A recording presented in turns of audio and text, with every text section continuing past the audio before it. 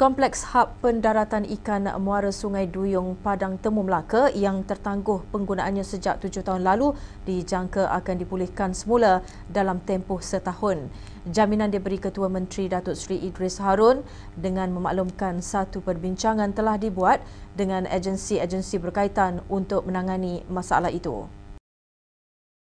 Nampaknya pihak JPS telah menyediakan kertas uh, cadangan uh, pemulihan kawasan ini saya mencadangkan supaya ia diambil kira semula termasuk pembinaan break sludge dan juga mengeluarkan lumpur secara keseluruhannya bukan secara berperingkat.